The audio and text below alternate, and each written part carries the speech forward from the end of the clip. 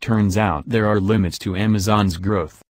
The $668 billion technology Goliath has laid off a few hundred employees at its Seattle headquarters as it recalibrates its staffing while hiring heavily inside fast-growing business units like Alexa and Amazon Web Services, its increasingly important cloud computing service.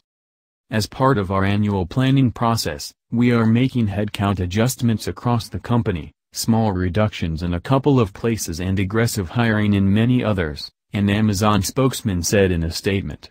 For affected employees, we work to find roles in the areas where we are hiring. The Seattle Times first reported the cuts.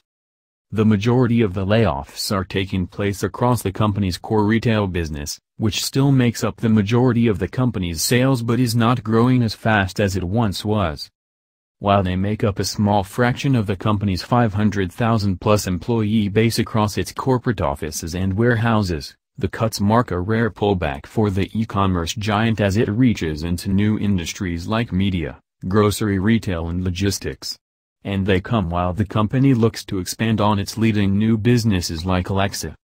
Our 2017 projections for Alexa were very optimistic, and we far exceeded them. CEO Jeff Bezos said in the company's fourth quarter earnings press release.